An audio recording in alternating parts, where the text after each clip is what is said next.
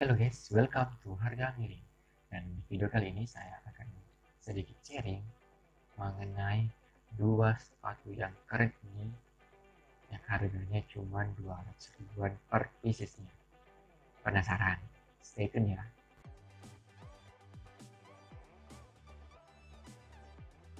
Jadi yang pertama saya bahas yaitu Google Supercore Supercore 5000 yang Woman Edition dan bagaimana menurut teman-teman cantik kan ini uppernya bahannya dari tekstil dengan warna biru muda bagian depan. Lalu bagian belakangnya tekstil juga dengan warna biru dongker dan menurut saya kombinasi warna ini cukup bagus. Cukup lucu sih kalau kalau pacar teman-teman pakai atau uh, teman-teman pakai sendiri. Oke? okay?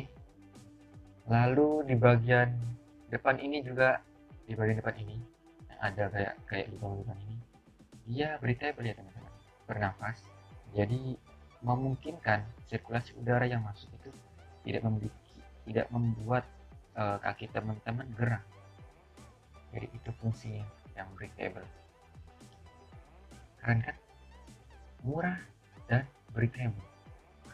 Lalu di bagian belakang ada pelindung tumit warna biru dongker ini dan cukup kokoh ini. Lalu ada logo New Balance nyelip di situ. Menurut saya ini penampakannya keren banget. Lalu kemudian kita bahas di talinya. Talinya pun sama bagus. Senada dengan uh, warna upper yang dominan biru muda. Dan di bagian atas sepatu ada logo New Balance Full Core 5000 oke. okay jadi upper sudah kita lanjut ke uh, outsole bagian bawah. Outsole dari pinggir dulu. Ada logo reflect di situ.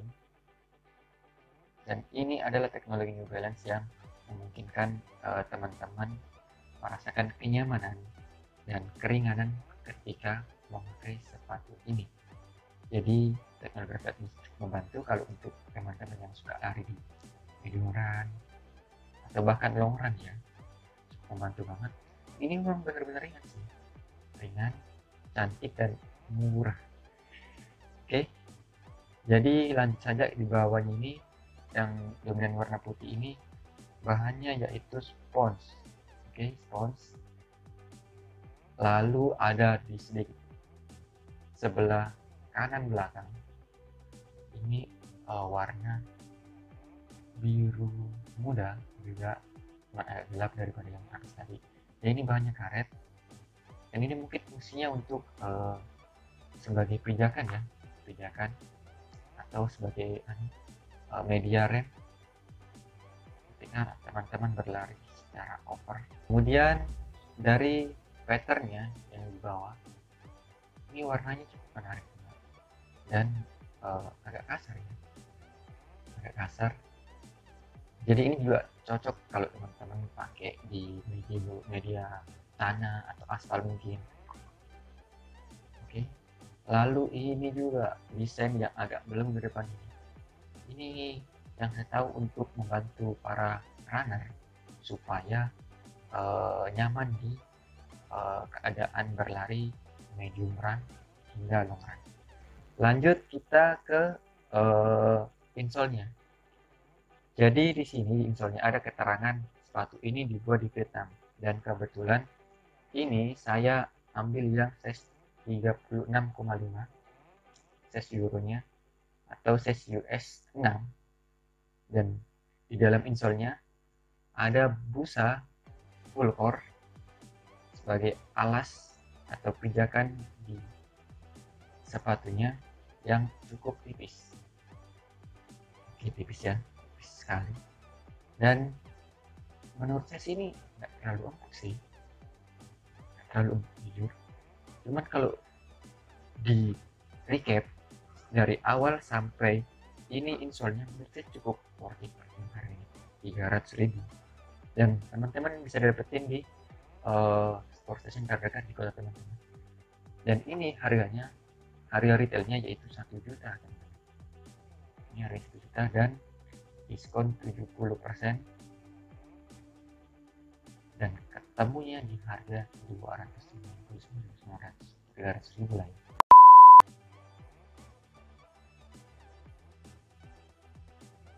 lanjut di pembahasan kedua kita punya New Balance CT10 untuk saya.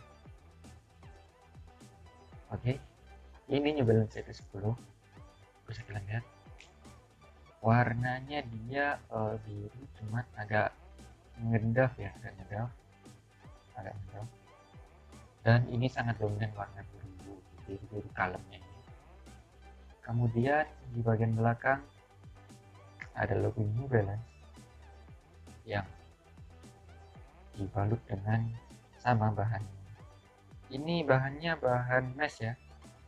Depan belakang ini bahan mesh cuman ini agak agak lebih gelap warna birunya.